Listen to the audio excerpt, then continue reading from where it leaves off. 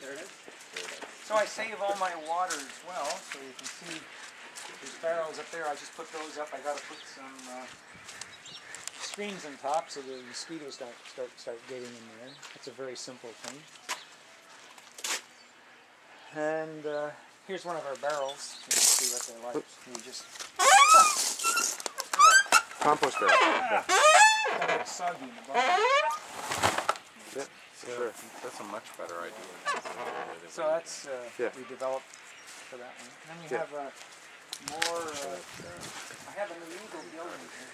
The building is- Actually, didn't you do, to, have to take a picture of this for, for there's that? fresh copies of this,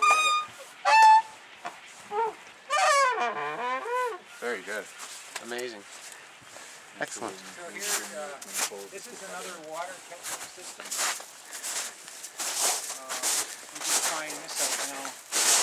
Catch? Well, yeah, because it, uh, right? why uh, use all city water when you get all this stuff here, you know?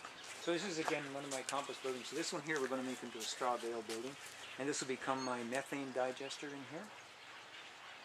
And uh, the building size was okay to not have to have, to have a building permit, but then uh, I put it too close to this building, so I have to go talk to them. At this point, they're saying, Matt, just make sure it's well hidden.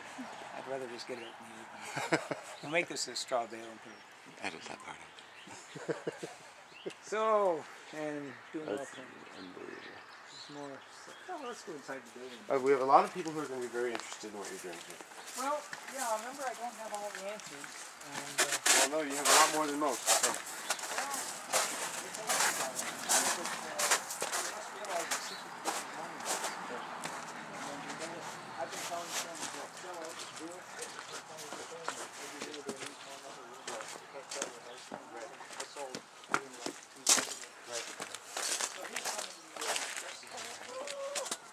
Um, This is an older style engine. Unfortunately, it's not an original. It's an, it's a So what what kind of press is this? Uh, this is a, a, a sun, uh, an oil, Oil- oil press. press. Oil press, yeah. So this one we do uh, food grade stuff. We do hemp oil and we do uh, sunflower oil and things like that. So it really works uh, rather well. I have uh, operators who come in and help out with it all. There's uh, you have to start this by hand, you know, so it's, it's you can see what the whole process is. like. Mhm.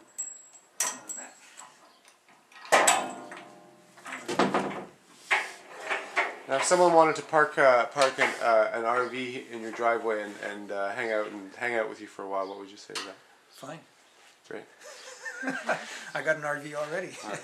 I have to have an RV well, yeah. So that's one press, that's a food grade press, and we're just mounting that on a trailer so we can take that out to various farmers who want to do organic stuff now.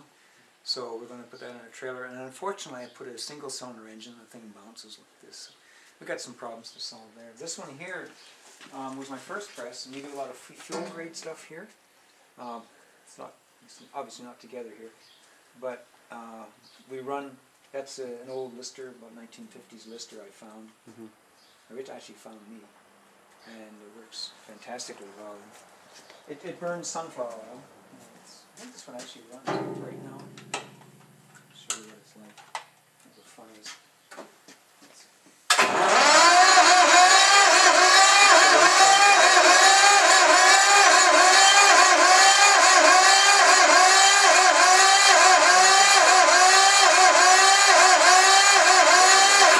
I don't think that's going to start. Need some heat. that one needs some Wow. heat. Holy